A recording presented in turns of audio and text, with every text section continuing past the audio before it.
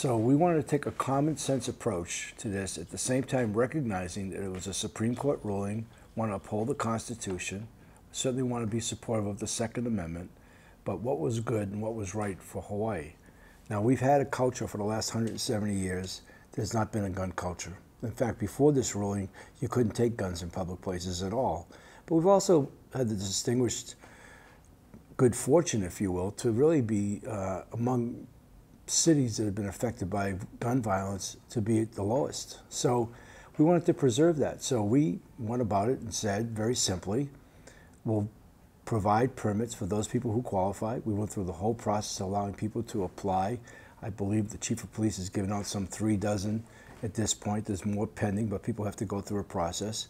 But we've also designated the fact that we don't want to have guns in public places such as schools and you know government places, churches, parks.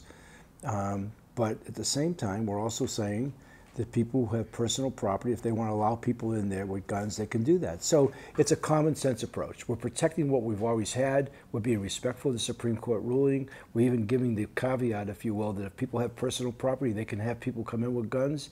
But as far as where we're concerned, we want to protect the public. Public, public safety is our number one agenda, and that's the way the ruling went.